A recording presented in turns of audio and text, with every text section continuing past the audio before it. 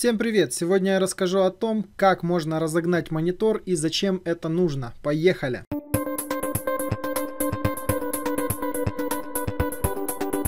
Ну и первое, что рекомендую сделать, напишите в поиске спецкомп, перейдите на мой сайт spetscomp.com, перейдите в раздел загрузок. Здесь будет программка «Разгоняем монитор», скачать Custom Resolution Utility. Качаете эту программку, скачать ее можно по двум а, кнопочкам. Первая кнопка это официальный сайт, вторая кнопка это мой личный сайт. Без разницы откуда качать, в принципе все будет одно и то же. Что с сайта, что с моего сайта. Далее у вас загрузится архивчик, из этого архивчика до достаньте или в папку, или на рабочий стол можете прям 4 файла. Вот так вот они будут выглядеть. И давайте расскажу, что это вообще за программа, зачем она нужна и как с помощью нее вы можете разогнать ваш монитор.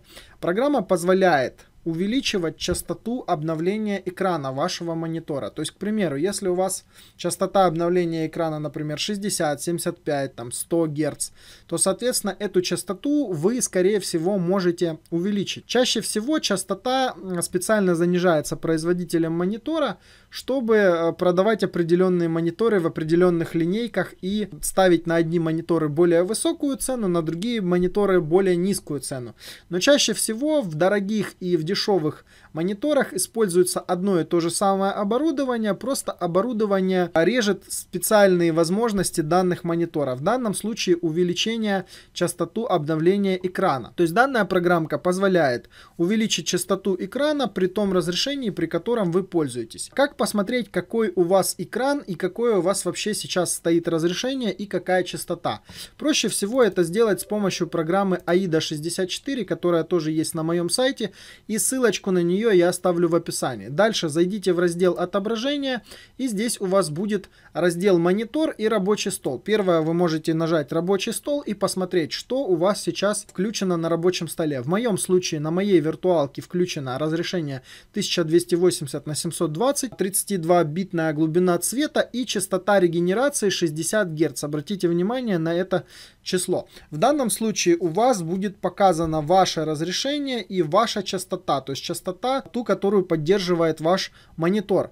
В моем случае, так как я вам показываю из-под виртуальной машины, то у меня нету монитор, но я вам сейчас покажу, как выглядит монитор у меня на моем стационарном компьютере, то есть без виртуалки. В данном случае вот такой вот мониторчик. Обратите внимание, у него тоже идет частота 60 Гц, то есть частота передается с моего монитора на тот, который находится в виртуальной машине. И если вдруг вы не знаете, какой у вас монитор и на какой технологии он настроен, например, CRT, LCD и так далее. То есть различные, много есть технологий, на которых сделаны экраны и мониторы, телевизоры для компьютеров и так далее. Просто можете по ID монитора узнать, что у вас за монитор. Просто два раза клацните вот по этому значению или можете скопировать значение, выбрать копировать значение и вставить в поиск в интернет, поискать информацию о вашем экране, мониторе и так далее, телевизоре. То есть это вы смотрите, что у вас сейчас стоит. Итак, что вам даст повышение частоты? Повышение частоты экрана позволит вам меньше напрягать ваше зрение и для любителей фильмов и игр остросюжетных увеличить качество отображения фильмов и игр. То есть чем выше будет частота, если ваш компьютер, видеокарта и процессор позволяет играть, например, при высоких значениях FPS, к примеру, там стрелял стрелки в различные, чем выше частота обновления вашего монитора, тем комфортнее вам будет играть или смотреть видео. Ну а также тем, кто частенько и долго работает за монитором, чем выше частота обновления экрана, тем меньше у вас будет напрягаться зрение. Как пользоваться программой? Значит, вот они эти четыре файла. Запускаем файлик cru.exe. Обязательно запускаем этот файл от имени администратора. Это обязательно. В данном случае у вас появится вот такое окошко, в котором в самом верху вы должны будете выбрать ваш монитор. В моем случае он один и больше других мониторов нет. Если у вас мало ли вдруг подключено несколько мониторов к вашему компьютеру, то здесь будет среди них выбор, на каком из мониторов установить определенную частоту а, с определенным разрешением. Итак, вы выбрали обязательно монитор. После того, как вы выбрали монитор, вам нужно создать новое значение для уже вашего существующего монитора. В моем случае я по AIDE посмотрел, что у меня сейчас включено разрешение 1280 на на 700, ну давайте еще раз покажу, 1280 на 720 и частота 60. В вашем случае что вы должны сделать? Вы должны нажать кнопочку ADD, а здесь вверху выбрать Manual, Automatic LCD Standard, LCD Native, ACD Reduced, Э, CRT э, стандарт. Значит, я рекомендую э, отталкиваться от того, какой у вас монитор и, соответственно, посмотреть расшифровку всех вот этих данных можно на моем сайте в данной статье. Значит, в статье будет описано, что такое ручная настройка мануал, Automatic LCD стандарт и так далее. В моем случае, так как у меня телевизор LCD, то мне нужно использовать Automatic LCT Native. В вашем случае вы должны подобрать то именно значение, которое подходит к вашему монитору. Например, если у вас старый еще LT-шный монитор с трубкой, то вам нужно выбрать CRT стандарт. Если у вас, например, телевизор э, а, LCD-шный, то вы выбираете LCD. Если у вас, к примеру, что-то новенькое из новеньких э, мониторов или мониторов на ноутбуках, то вы выбираете LCD стандарт. Значит, в моем случае LCD Native я выбираю, и здесь я должен выбрать то разрешение, которое поддерживается моим экраном экраном. Значит, 1280 в моем случае на 720. У себя же вы смотрите то разрешение, которое поддерживается у вас. То есть у вас оно может отличаться. Дальше. Вы должны установить частоту обновления вашего экрана. И в данном случае, если у вас стандартная стоит 60, то сделайте частоту на 3 шага больше, то есть на 3 Гц больше. В моем случае поставьте 63 Гц. Если у вас, например, 75, вы ставите 78. Если у вас там 80, вы ставите 83. Если у вас 100, 103 и так далее. Соответственно, вот она вся настройка, которая нас интересует. Нажимаете кнопочку ОК и сохраняете данную настройку. Вот она у вас появилась. Так вы делаете еще несколько, увеличивая каждый раз шаг на 3 Гц. В моем случае я опять выбираю LCD Native, выбираю уже только не 63, а 66 Гц, нажимаю ОК, еще добавляю, вместо 66 беру 60, 69. И здесь выставляю опять-таки LCD Native нажимаю ОК. Таким образом, я позволяю проверить свой экран на ту возможность, которую он позволяет с какой частотой запуститься вообще. Сразу скажу, что экраны ноутбучные чаще всего гонятся лучше всего, потому что они непосредственно напрямую подключены к материнской плате. Вот, и там нету специальной материнской платы в экране, в экране материнской платы экрана, которая меняет вот эту вот частоту. Поэтому некоторые ноутбучные матрицы, например, с 75 могут догоняться аж до 120 Гц. То есть вы увеличиваете в полтора раза частоту вашего экрана, что позволит очень комфортно на нем работать и не портить зрение, комфортно играть в игрушки и смотреть качественное какое-то экшен-видео, в котором очень-очень все быстро происходит. То есть вы выбираете, постоянно увеличиваете значение на 3 на 3 на 3 и потом шаг за шагом каждый из этих значений проверяете. То есть в моем случае, ну, к примеру, давайте я, чтобы наглядно было, выберу сразу 69 Гц. Вы же так не делаете, вы делаете, начиная с меньшего, и каждый раз будете дальше проверять то, что я вам покажу. Следующее, что я хотел бы сказать, это то, что здесь есть внизу еще возможность добавления определенных блоков для разных видеокарт. Вообще программа поддерживает видеокарты AT AMD и NVIDIA, и некоторые интеловские карты, но на интеловских картах я не рекомендую этой программой пользоваться. Вы, опять-таки, через программу AIDA 64 можете посмотреть, какая у вас видеокарта и кто, кем она сделана. Например, у вас вот здесь вот может быть написано NVIDIA или AT AMD. То есть вы в зависимости от того, что у вас здесь будет написано, выбираете еще вот такое вот внизу значение. Значит, CIA 861 это значение, которое подходит для видеокарт NVIDIA. Значит, нажимаем кнопочку ОК, у нас появляется CIA. И есть еще Второе, что подходит для видеокарт AMD AT, это у нас VTB Ext Video Time, Timing Block. Окей. То есть в вашем случае, в зависимости от того, какая у вас видеокарта, NVIDIA, это будет C861. Или же AT AMD это VTB вот это. В моем случае у меня на, на моем компьютере идет VTB XT, то есть э, видеокарта AT AMD.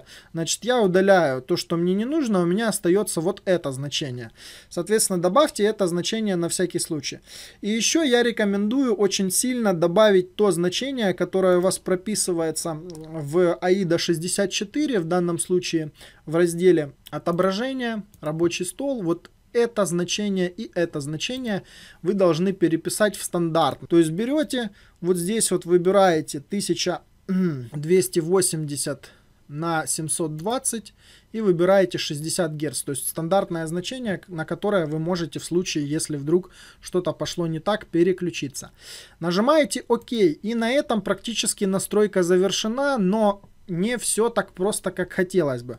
В данном случае программа никак не может повлиять на ваш монитор или на вашу видеокарту, спалить, испортить ее. Это просто невозможно. Ничего страшного с вашим компьютером не случится. Но может быть ситуация такая, что после запуска этой программы у вас не будет возможности, монит монитор не сможет выдать ту частоту, которую вы настроили. Таким образом, у вас будет просто черный экран, и вы с этим черным экраном сделать ничего не сможете. Я рекомендую перед тем, как вот это все делать, вообще подключиться к компьютеру через TeamViewer, например, со смартфона или другого компьютера, или компьютера друга, или компьютера знакомых там и так далее. И э, на всякий случай, чтобы ваш компьютер был подключен TeamViewer. Потому что через TeamViewer вы просто сможете восстановить а, стандартные настройки вашего компьютера через вот этот вот файлик Reset All.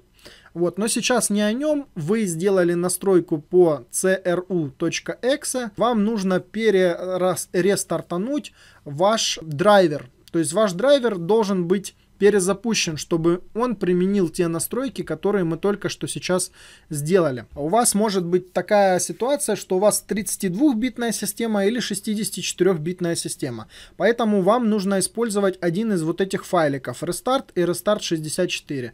Я думаю, тут понятно. Для 64-битных версий Restart 64, для 32-битных x86 а, просто restart.exe. У меня 64, соответственно, я запускаю вот эту эту программу от имени администратора, чтобы она выполнила сброс настройки моего драйвера. Не забываем, что сейчас видео снимается в виртуальной машине и возможно сейчас что-то может пойти не так. Нажимаю да. Монитор сбросил свои стандартные настройки. Обратите внимание, появилось окошко, в котором сообщается, что графический драйвер был перезапущен. Дальше вдруг, если что-то пошло не так, вы можете нажать кнопку F8, даже если у вас будет черный экран и вы через TeamViewer не подключились и никак не подготовились к этому делу, тогда вам придется восстановить вот эту вот программку и сделать на, сброс настроек resetall.exe, запустить от имени администратора в безопасном режиме или в режиме восстановления системы. В моем случае у меня все, слава богу, прошло нормально. И э, в данном случае давайте теперь покажу, что изменилось.